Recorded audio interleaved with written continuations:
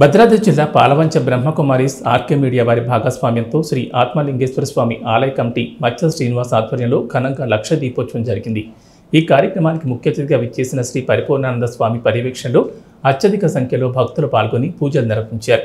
ఈ సందర్భంగా స్వామి మాట్లాడుతూ పిల్లలను తల్లి ఎంత ప్రేమతో జాగ్రత్తగా చూసుకుంటారో తల్లి తర్వాత తల్లిలా చూసుకునేది భార్య మాత్రమే. అందుకే మహిళను గౌరవించండి. సమాజంలో స్త్రీ పాత్ర చాలా గొప్పది. కుటుంబ విలువలు పెరగాలి అంటే ప్రతి కుటుంబంలో స్త్రీలను గౌరవించాలన్నారు. అనంతరం పాలవంచ బ్రహ్మకుమారి పద్మజతో మాట్లాడారు. ఆమె చేస్తున్న సేవల గురించి తెలుసుకున్న స్వామి ఆధ్యాత్మిక సేవలను అందిస్తూ పాలవంచ ప్రజల మన్ననలు పొందుతున్న పద్మజను అభినందించి కండుబాతో సన్మానించారు.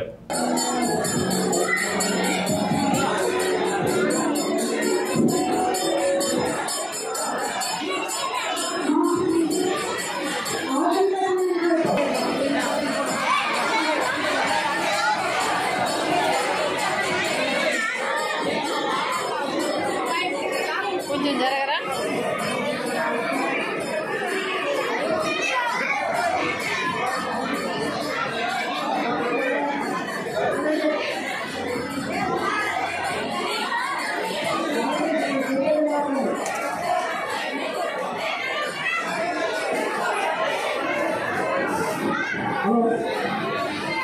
అమ్మ